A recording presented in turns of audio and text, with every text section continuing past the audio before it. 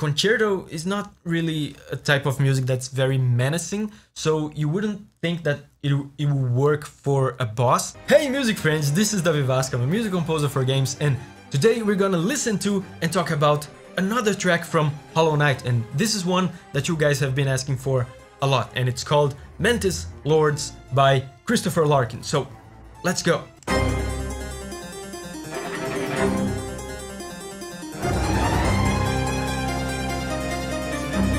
Okay, the harpsichord is very prominent.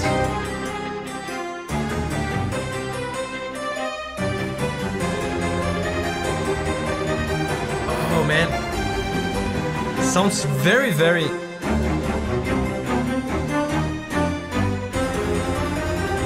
Oh, this sounds very, very baroque so far.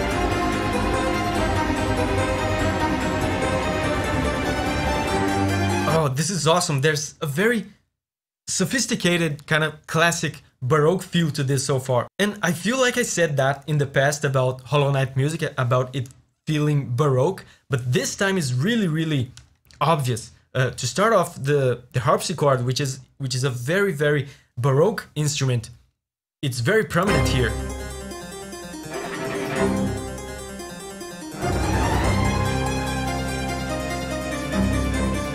And again, harpsichord is a very, very characteristic instrument of the Baroque period.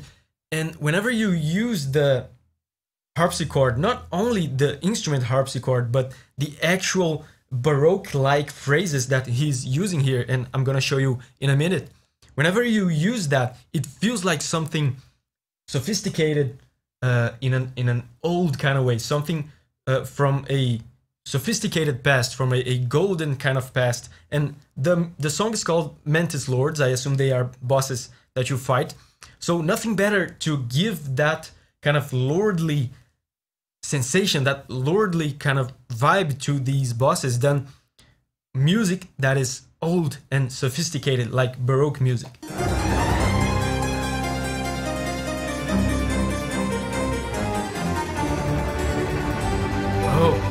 Lot of tension here.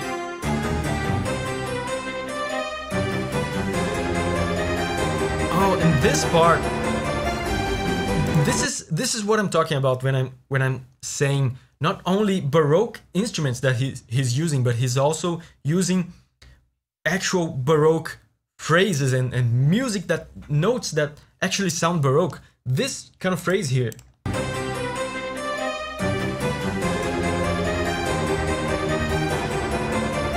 This totally sounds like a phrase that they would use in a baroque concerto. And it's funny because a, a, concerto is not really a type of music that's very menacing, so you wouldn't think that it, it would work for a boss, but he's actually doing it here. He's keeping it very intimidating and tense, while uh, at the same time, like I said before, keeping that kind of lordly uh, feel to it.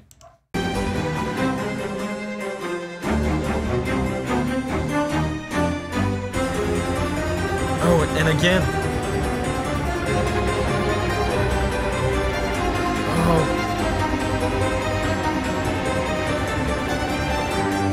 Oh man, this is so good.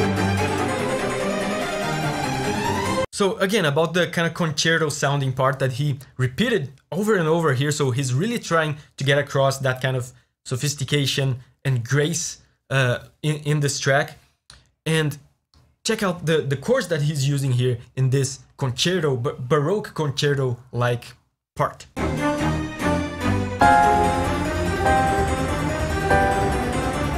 So he, he keeps going, but the, the sequence of chords that he used here,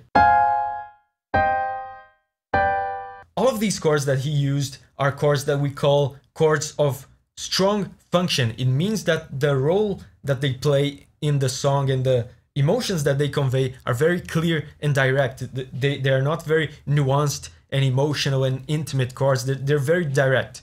And that is something that they love to use in Baroque and classical music. And even like sequences like this are very recognizable even to people that don't know music theory at all. This sounds like classical music, doesn't it? It has that almost kind of cliche classical music feel to it. And also, something else that I noticed here, if you notice the rhythm in this concerto part, the, the measure here, check this out. One, two, three, one, two, three, one, two, three. One, two, three, one, two, three, one, two, three. So it has that kind of waltz, one, two, three, one, two, three, kind of swing to it. And again, this adds to, to what I said earlier about this not really feeling very threatening. If I had to guess, I, I'm not seeing the boss right now, but if I had to guess, I would say that the Mantis Lords are uh, a boss or, or are bosses that are not really like that kind of horrifying, terrifying, uh, fear-inducing kind of boss. They're more bosses that you're supposed to respect and be amazed by, but also one, two, three, one, two, three. You're kind of supposed to dance with them, right?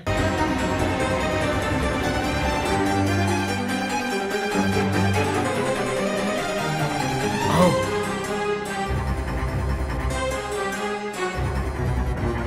Man, these low strings on the right speaker make this a little bit more threatening.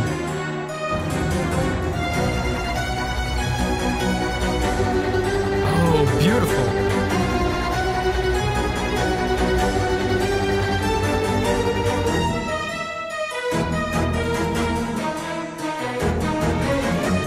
And these attack notes with the harpsichord, no notice this.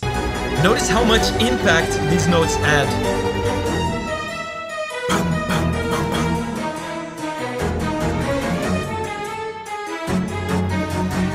It's all these these little things that he's including here to make this essentially baroque concerto sound like an actual boss theme. And also something else that I noticed here, and this relates to what I said earlier about this theme not really feeling super threatening and super evil. Look here how he's using exclusively happy chords in this part here, uh, and it sounds very wondrous and amazing as opposed to threatening and evil, which is usually the case in, in boss themes. Check this out.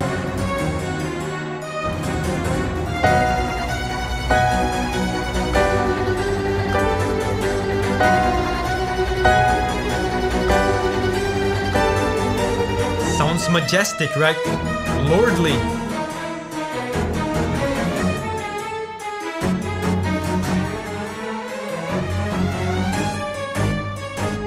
Oh.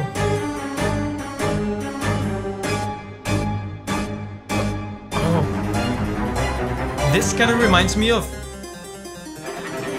these impactful punchy notes here.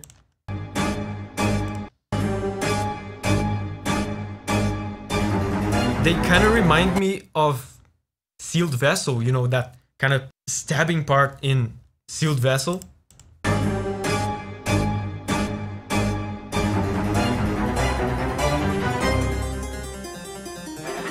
Hey, I love talking about and sharing the music from the games that we love with you. It inspires me, it makes me happy, and if you want to keep sharing and talking about video game music, I have more videos like this one over here. I just mentioned the Sealed Vessel track, I have a video on that over here, and over here I'm gonna put a playlist with all the other Hollow Knight videos that I've done. And remember, whenever you're ready to spread your wings and go on a music journey again, I'll see you there.